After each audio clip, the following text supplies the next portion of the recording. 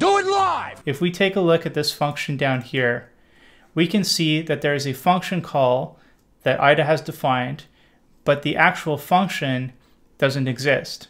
If we click on this, double click to show us where it exists in the disassembly view, you can see that this is a memory address, but it has not been populated. Anytime you see a function call using a memory address that has not been populated, this is guaranteed to be a dynamically resolved API.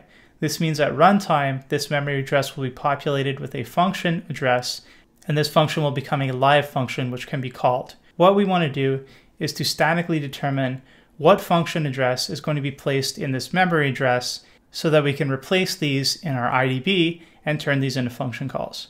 Now, BlackMatter ransomware uses an import address table concept. That means that they resolve a block of functions at a time and then those functions are later used in the code. Some dynamic import address resolution will resolve each individual function call when it is required in the code. In that case, you would see a separate function call above or intertwined in this function call where there would be some sort of resolver function to determine what the function address is. In this case, we know that's not the method that's being used because there is a predefined memory address in memory here which needs to be populated prior to this function call. The resolving of this API address does not take place anywhere near the function call. This tells us that we need to figure out where these memory addresses are being populated.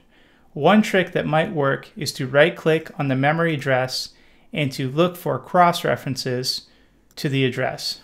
We can see that both the cross references to this address are calls this means that both of these references expect this memory address to already be populated with a function address by the time it is called here in the assembly. This means that neither one of these cross references is going to give us any more information about what is actually placed in this memory address. This is a second tip off that the memory addresses are being resolved in a block and are being resolved in a import address table fashion if they were resolved on demand, we would expect to see a, another cross-reference here where there is a move instruction moving a function address individually into this memory address.